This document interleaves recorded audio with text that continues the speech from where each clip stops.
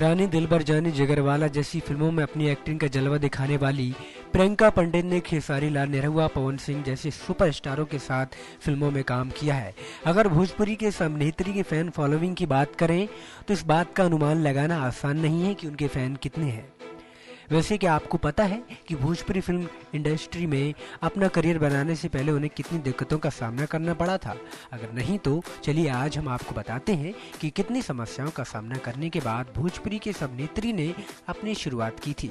आपको बता दें कि प्रियंका एक पंडित खानदान से हैं और उनके पेरेंट्स ये नहीं चाहते थे कि प्रियंका फिल्मी दुनिया में अपने कदम रखें, लेकिन जिद्दी और हंसमुख अंदाज वाली एक्ट्रेस ने उनकी बिल्कुल भी नहीं सुनी और घर वालों को बिना बताए उन्होंने अपनी फ़िल्म की सबसे बड़ी बात तो यह है कि जिस फ़िल्म में प्रियंका ने काम किया था, वो फ़िल्म सिनेमाघरों में रिलीज़ होने के बाद सुपरहिट साबित हो गई।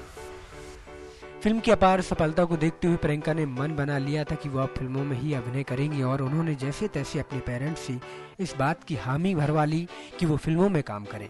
गौर करने वाली बात तो यह है कि प्रियंका पंडित का नाम आज भोजपुरी फ़िल्म इंडस्ट्री की हर किसी की ज़ुबान पर हमेशा रहता है और दर्शक उनकी एक झलक पाने के लिए बेताब हो जाते हैं। सबसे बड़ी बात तो यह है कि प्रियंका ने महिलाओं के लिए एक मिसाल कायम की है।